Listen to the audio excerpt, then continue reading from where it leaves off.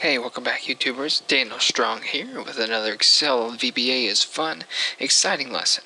Okay, so you know that with a regular cell, you can fill a drop-down list. I'm sure you know this if you've been watching Excel is fun, Mike Girvin's awesome videos, okay? So you can create one of these by hitting Alt-DL for data validation. And you would select a list, and you would put the name of the either range, either A3 through A7, or in this case I named that range to be called Sweets List. Okay, um, so why in the world would you want to put a combo box that uh, from the ActiveX controls? Well, let's find out. Let's go into Design Mode from the Developer tab. Oops. Click on Insert and we're going to do this funky looking thing called our combo box. What is that? I'm sure you've seen it a gazillion times.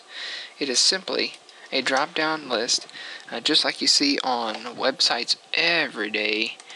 Drop down menu. That's what a combo box is. We're going to give this name uh, CMB for combo box.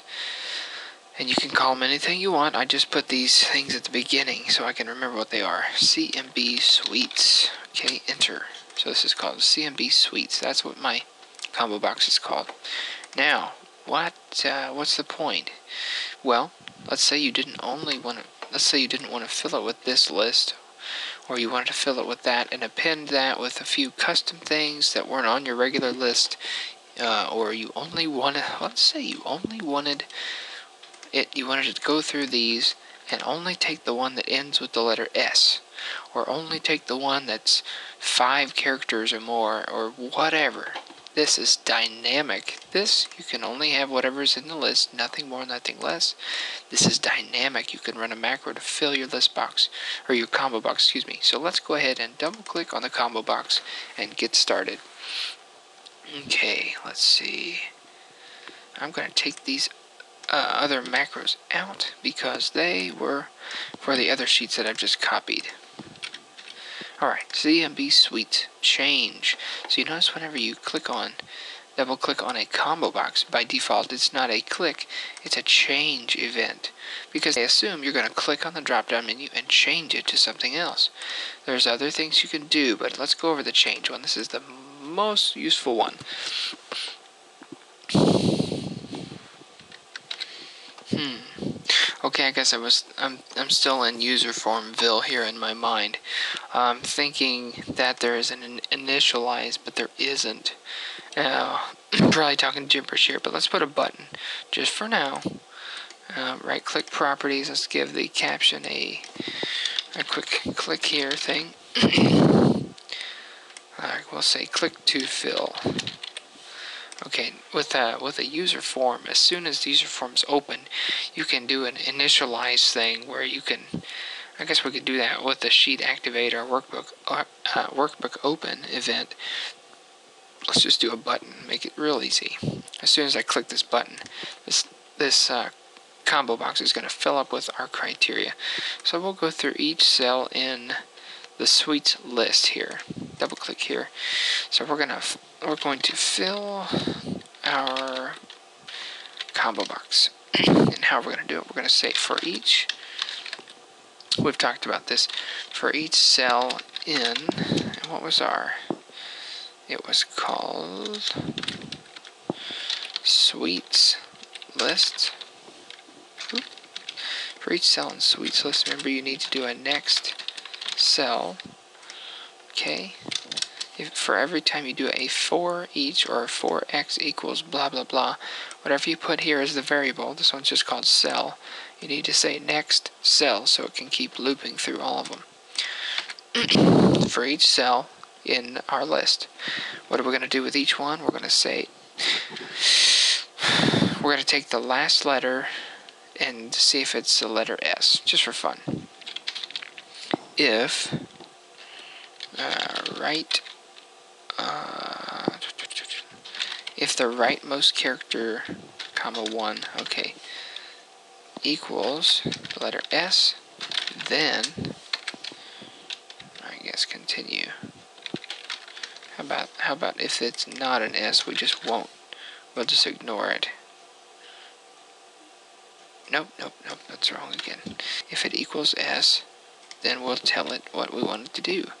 We're going to say me dot cmb sweet, that's our combo box, dot add item.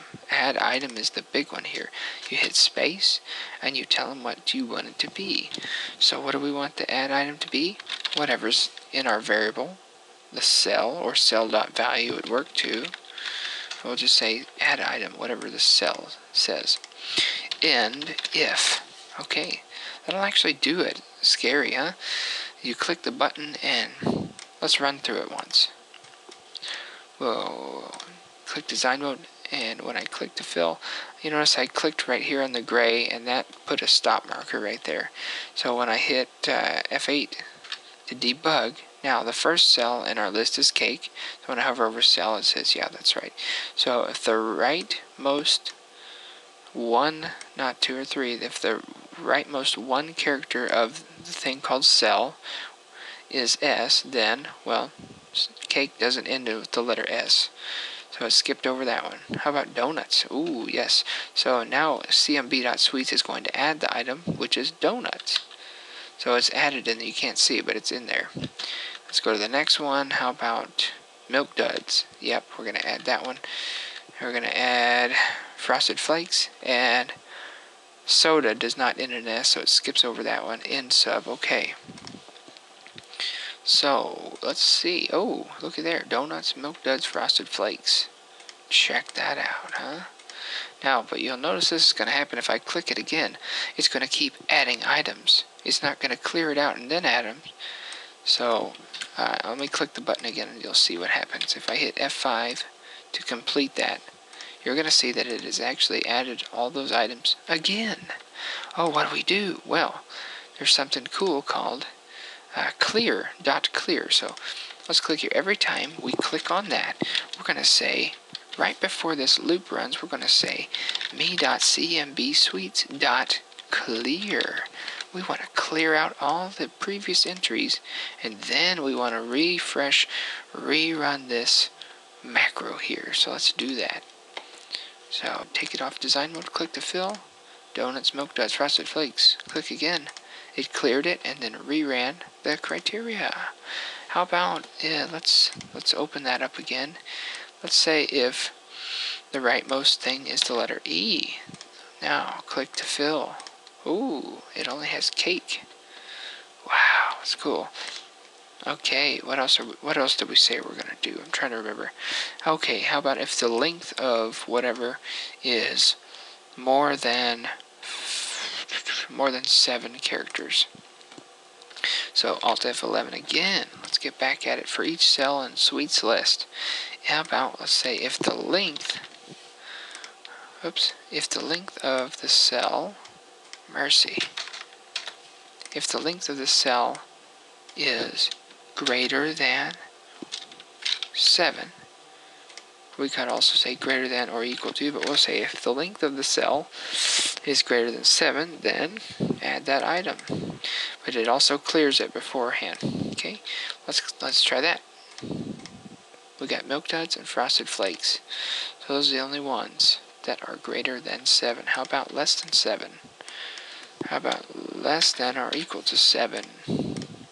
Click to fill. Only these ones are less than or equal to 7 digits long. What if I add a bunch of spaces to the word cake? Oh, you notice it's not there, so it counts spaces as a character. Alright, thanks for tuning in. We'll check out some more awesome things here. Oh, well, uh, bef before I do sign off, I want to tell you, we talked about what's the, you know, other benefits besides the fact that you can customize how to fill in your combo box. Well, uh, check this out. You can move them around. You can put them anywhere you want. You can make them as big or as little or weird shaped as you want. Um, you can move them in front of text, behind text, just like a just like an image, really. So, uh, very interesting. And they retain the the value that you filled them with last time, even if you're moving them around and putting them in design mode and whatnot they retain whatever you filled them with last time. So and a lot you can do with that. So, um, thanks for tuning in.